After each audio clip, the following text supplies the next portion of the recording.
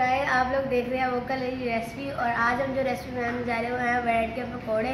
और हमारी वीडियो को लाइक कीजिएगा और चैनल को सब्सक्राइब कीजिएगा कमेंट करके बताइएगा आपको हमारी वीडियो कैसी लगी। चले आप बनाना स्टार्ट करते हैं। सो गाइस देखिए मैंने थोड़ा एक आधा कप बेसन लिया है और यहाँ पे मैंने ज़ीरा लिया एक चम्मच ज़ीरा लिया और हमें मैंने धनिया लिया एक चम्मच और यहाँ पे मैंने कुटी लाल मिर्ची ली है और यहाँ पे मैंने हल्दी ली है और यहाँ पे नमक लिया एक चम्मच। और यहाँ मैंने हरा धनिया लिया है कुछ थोड़ा सा और यहाँ पे एक अदद मैंने मीडियम साइज़ की प्याज जो मैंने कद्दूकश कर ली थी, और यहाँ मैंने आलू लिया एक अदद, वो मैंने भी, वो भी मैंने कद्दूकश किया और यहाँ पे मैंने ब्रेड लिया जिनके हम पकौड़े बनाएँगे। चलिए आप बनाना स्टार्ट करते हैं। तो सबसे पहले ये हम बेसन ऐड करेंगे इसके अंदर। और ये जो चीज़ें मैंने नाम बता दिया ये प्याज ऐड करेंगे और ये आलू है जिसको मैंने चॉप कर लिया था। और ये धनिया, हरा धनिया, इसको भी ऐड कर लिया हमने।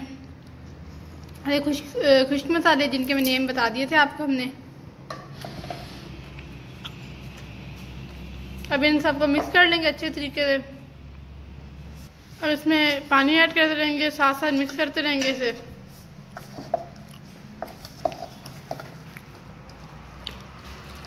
ये देखें। बहुत अच्छा बनता है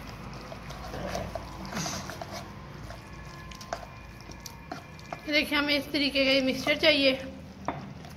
गाइस अभी बना नहीं अभी बनवा रही है।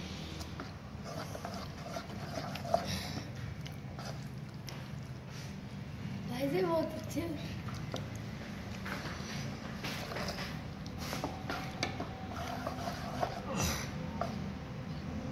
ये देखिए ये हमने मिक्सचर बनाया देखिए इसकी इस तरीके से हमें थिकनेस चाहिए जैसा मैंने बनाया है। अब जो है चलते हैं उस साइड पे इसको फ्राई करने की साइड पे। अब ये देखिए मैंने सरसों का ऑयल रख दिया है। अब ये किस तरीके से फ्राई कर करने मैं आप लोगों को दिखाती हूँ।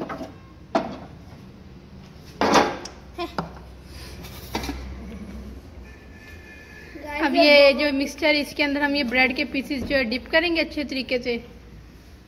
अच्छे से इसको कोट कर लेंगे फिर इसके अंदर हम डाल देंगे। ऑयल जो हमारा गर्म हो चुका है देखिए।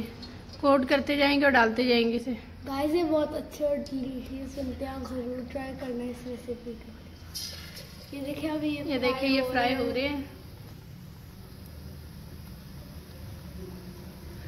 बाकियों को भी इसी तरीके से हमने कोट करना है इसके अंदर और इसके अंदर डालते जाएँगे। ये बहुत मज़े के बनता है बहुत क्रिस्पी से बनते हैं। आपने लाजमी ट्राई करें इसे। और बहुत ईजी रेसिपी है।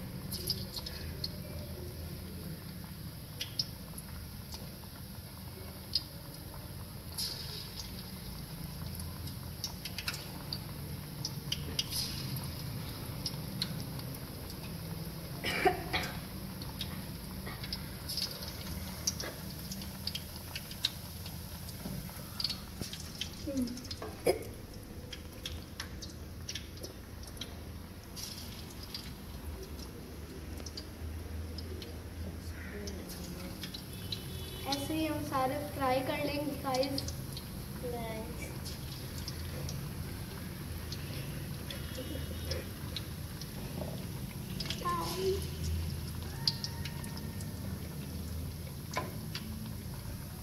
ये गंदी है। ये देखिए इसे फ्राई करते जाएँगे और ये ऐसे चम्मच हिलाते जाएँगे। और ये जो है इस चम्मच से इसकी साइड चेंज कर लेंगे। और क्योंकि हमें दोनों साइड से इसको फ्राई करना है अच्छे तरीके से। और सरसों के ऑयल में बहुत अच्छे फ्राई होते हैं बहुत मज़े के बनते हैं। आपने लाजमी ट्राई किए। और ये हेल्थ के लिए बहुत अच्छा होता है। अब बाकियों को भी फ्राई करेंगे तो वो भी आप लोगों को दिखाते पहले ये वाली कर लें हम।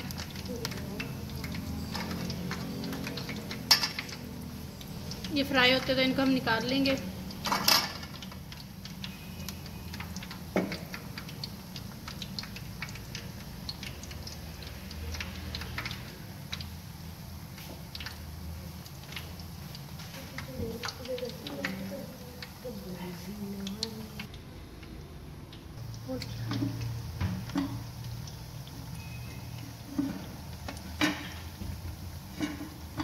गाय ये तकरीबन फ्राई हो चुकी हैं, बस हल्की सी कसर रह गई है। तो गाय ये देखिए फ्राई हो चुकी है, हम इनको निकाल लेंगे। देखिए, माशाल्लाह, कलर भी कितना खूबसूरत है कितने क्रिस्पी हैं, ये देखें आप चेक करें। ये देखिए हम इनको निकाल लेंगे और बाकी की भी तैयार कर लेंगे। वो थोड़े से रहते हैं अभी। अब उनको भी ऐसे ही बनाए पड़ेंगे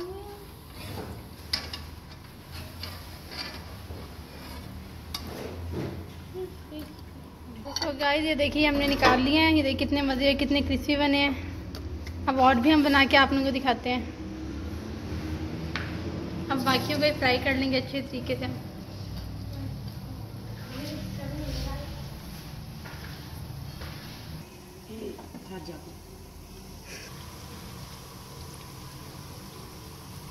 ये देखिए गाइस ये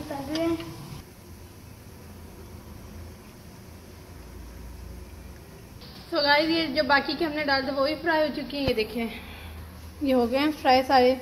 अब इनको हम निकाल लेंगे। फिर आप लोगों को दिखाते हैं डिश आउट करके भी। देखिए, माशाल्लाह कितने मज़े हुए, कितने क्रिस्पी तैयार हुए हैं। और ये बहुत इजी रेसिपी है। और सबकी पसंद की होती है चीज़ आप लाजमी ट्राई करें इसे।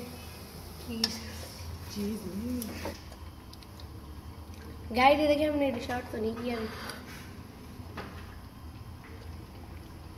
अभी अभी इसके साथ थोड़ी सी चीज़ों की कमी है अभी हमें और गाय ये आज हमें गाजर का हलवा ही बनाया है देखिए साथ साथ ये भी हमारा तैयार हो रहा है। गाय दोबारा गाजर का हलवा बहुत मज़े का था तो हमने कहा एक और बार बनाते हैं। हाँ ये हमने पहले भी आप लोगों को रेसिपी तो वो बहुत टेस्टी बना था तो हम लोगों ने सोचा दोबारा बनाया जाए।